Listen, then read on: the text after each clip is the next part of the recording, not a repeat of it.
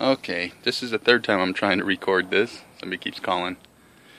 We got flat roof getting water in, rotting out, and the post is sinking here on the end and here. So water's coming in, finding its way in through here. This bottom 18 inches of old membrane is completely shot. You can see down to it. There's cracks all the way through. And what that's doing is reflecting to the header that is below us here. And it's been getting wet and decaying.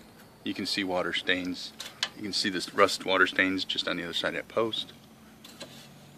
And more importantly, you can see how this is actually the top of this post here is rotting out. So we got a little bit of a can of worms here.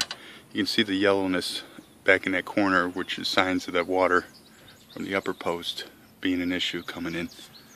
So I'm suspect we're going to take this apart and find that this header is going to be in rough shape. But this leaking had reflected all the way down to the first floor plates. And as you can see here, the first floor plates are, are sunken on each side. And that's why this aluminum is buckling because aluminum isn't moving and the posts are sinking down into the foundation. So I've got to come up with, uh, well you can see all the way the water that's been coming in the header. You see right where the where the aluminum trim is, that's all water stains right in through there. So that's been going on for years. You can see that up one horizontal spot right right there where water stains have been coming through and up against the post. So we got to get that resolved.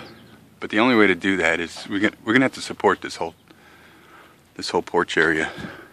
Look at this side here. This is this has been shot for a while. And I know that we're going to find that this is going to be rotted. So we can come in and put a roof on and arrest the water from coming in. But it isn't really going to be the right way to do it. They, they need to look at lifting this both roof lines up, supporting both roof lines up, and digging this bottom plate out. And uh, that would be the right way to do it.